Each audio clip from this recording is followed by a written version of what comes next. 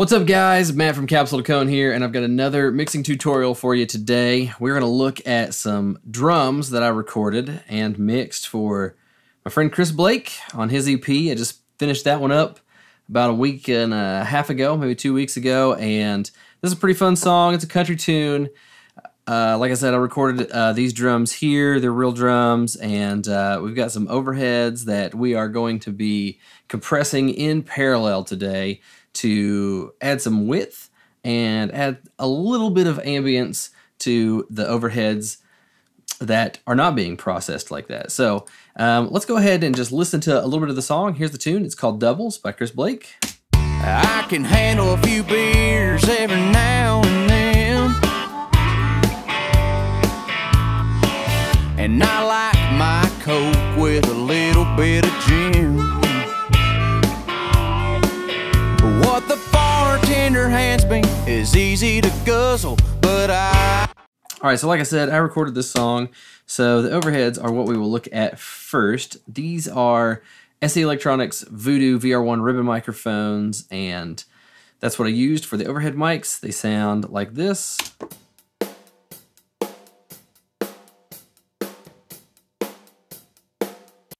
And what I'm doing is I'm going ahead and cutting out some of the low end, and then I'm also processing up here uh, about, I don't know, two and a half dB or so of um, 11K really wide and just trying to make those cymbals not so sharp, not so bright sounding. And uh, I think it's working for us. So again, this is what the overheads sound like.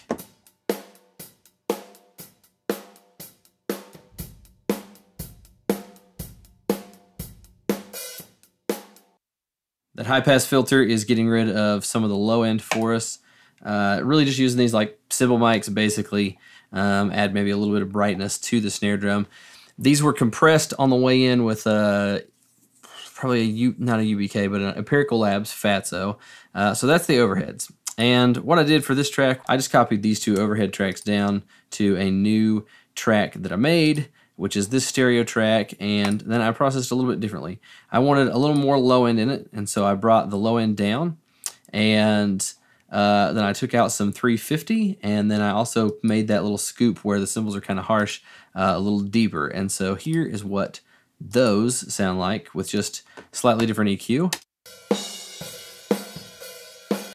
And let me turn the automation off and turn that up for us.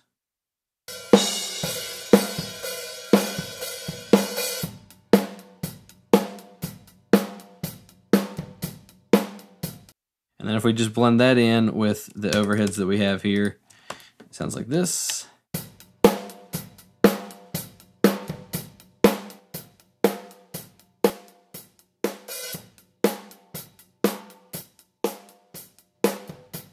Which is just kind of making them louder. There's a little bit more there because of the bottom end. But what I want to do is I want to add some ambience and then the really cool effect that you get from processing overheads this way is that you also will end up getting you'll push the cymbals out just a little bit wider. So like that hi-hat is going to sound like it's a little bit wider once it gets blended back in. So here we go.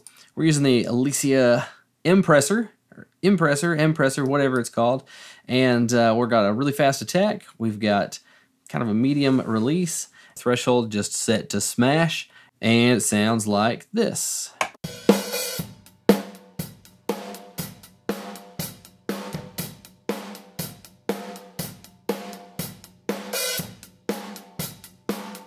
Really cool feature of this plugin is the GR limit. That's the gain reduction limiter. So once it hits a certain level, it just brick walls it right there and holds it together. And so that makes this thing really exciting.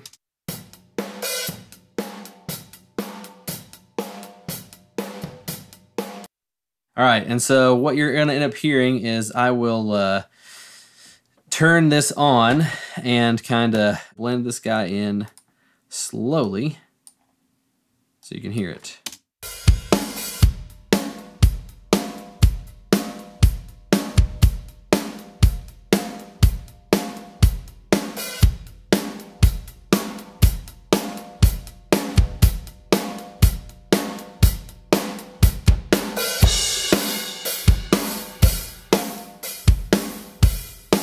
So obviously you can get carried away if you want really loud sounding cymbals, you can do that, but you'll notice that it kind of pushes the hi-hat out just a little bit wider than what it was. And so what I'm going to do is I'm going to set this in the mix where it was and we will listen to just the overheads and I'll turn the parallel overheads on.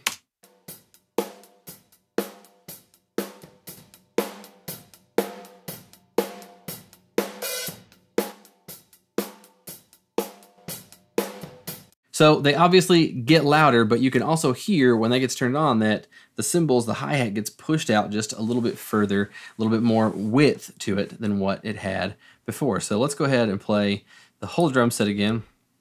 And I'm gonna turn these on and off one more time for you.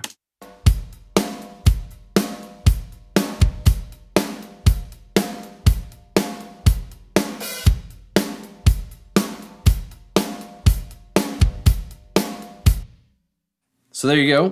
And one more thing to note is that in some of these louder hi-hat sections right here, uh, where he's playing open, I did go ahead and automate this down because he's getting into the hi-hat a little bit more and it was kind of uh, it was poking out some of those high end frequencies. And so, you know, when you're doing this, you want to just be aware of that because your cymbals can get a little carried away. And so you may need to go through a few spots and just do some automation like this to keep everything in check and make sure that it's not getting unruly on you.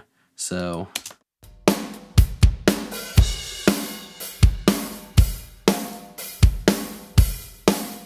And what I can do is I can go ahead and turn that automation off.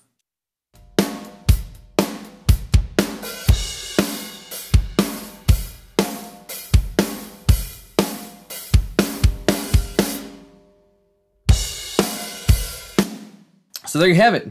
I really recommend that you try this. It works with other compressors. I've also had really good luck with the Eventide Omnipressor. That thing is really good, and I don't know this. This may be sort of a uh, sort of a clone of that since it's the Impressor. I don't know that for certain, but I did think that when I was kind of going through here and test driving it today. So give it a spin if you've got the uh, if you've got the Plugin Alliance bundle, maybe check it out. Um, or if you've got the Eventide bundle, maybe check out the uh, the Omnipressor. But it's a really, really good sounding trick and can add some width and some ambience to your drums by just compressing those overheads in parallel and then blending them up. Thanks guys for watching and I'll see you next time.